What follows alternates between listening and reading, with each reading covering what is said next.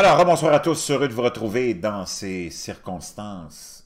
Pas besoin de répéter, mais oui, il faut le répéter, complètement surréaliste, unique, historique, dramatique.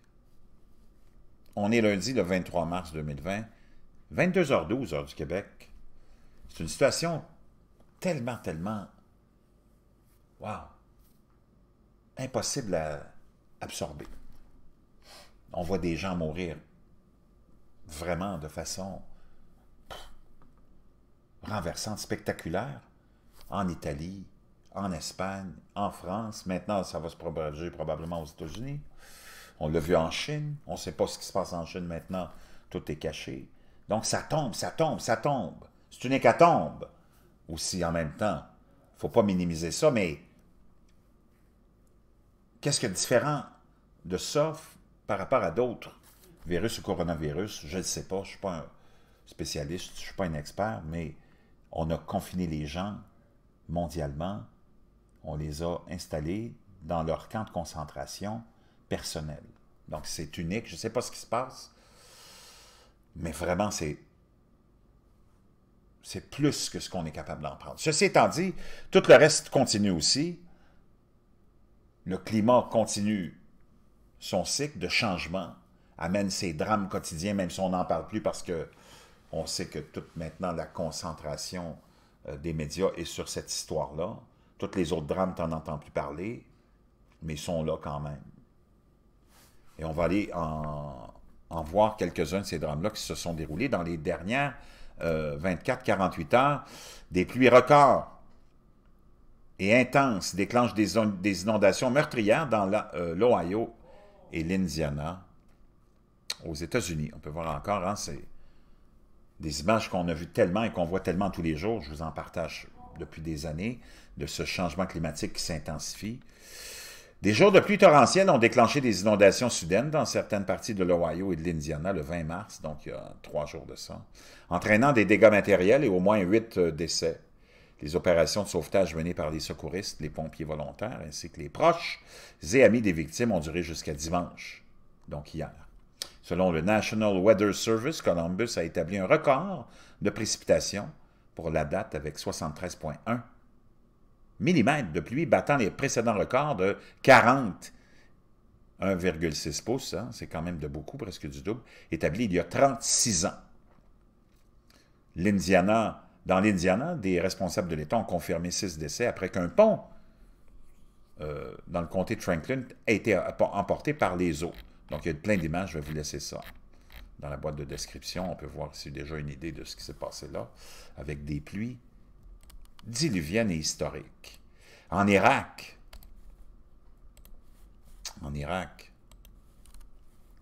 au moins cinq morts, des centaines de maisons gravement endommagées par les graves inondations qui ont frappé l'Irak encore là, hein, des histoires atroces, des jours de pluie torrentielle ont provoqué des inondations massives dans certaines parties de l'Irak le 18 mars, causant des dégâts importants et faisant au moins cinq morts.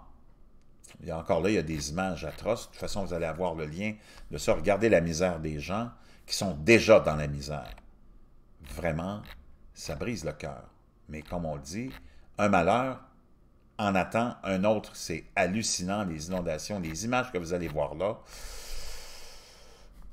c'est vraiment épeurant. Il y a eu naturellement ce fameux tremblement de terre en Croatie, la sécheresse au Yucatan, des inondations massives qui ont eu lieu aussi le 20 mars à Delhi. L'Europe va vous préparer. Vous êtes dans une vague de froid et l'hiver n'est pas terminé. On a eu de la neige ici toute la journée. On a eu des précipitations records qui ont plongé le sud de la Californie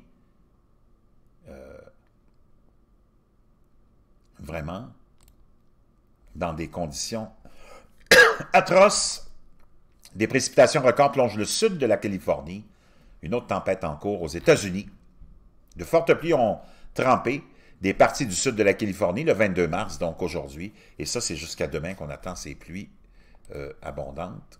Les chaînes de montagnes côtières ont également touché, été touchées par la pluie, tandis que des pluies et de la neige euh, bénéfiques sont tombés dans le sud de la vallée de San Joaquin et la Sierra Nevada, le sud de la Californie, a accueilli les pluies après les sécheresses de février. Les autoroutes de la région de Los Angeles ont été touchées par des inondations tôt lundi. Heureusement, les gens ont suivi les avertissements de rester à l'intérieur pendant l'épidémie de COVID-19 qu'on vit en ce moment. Plusieurs records de précipitation ont été battus. Maintenant, sans en rajouter dans le sensationnalisme et dans l'apocalyptisme, j'aimerais vous rappeler qu'on se rapproche de plus en plus du printemps et de l'été, qu'on sera encore dans cette crise-là, et qu'on aura d'autres événements majeurs qui viendront se mêler à ça, des incendies de forêt saisonniers, des inondations, des déluges, des inondations, des déluges et des inondations. Je peux vous dire une chose, on n'est vraiment pas sorti de l'auberge. Une tempête vicieuse déclenche des inondations apocalyptiques en Irak. Et en Arabie saoudite, une fois de plus, de fortes pluies ont provoqué hein, de fortes inondations en Irak et en Arabie saoudite ces derniers jours. On peut voir des images ici. C'est complètement renversant. Déjà que ces gens-là sont dans une misère extrême. Regardez ça.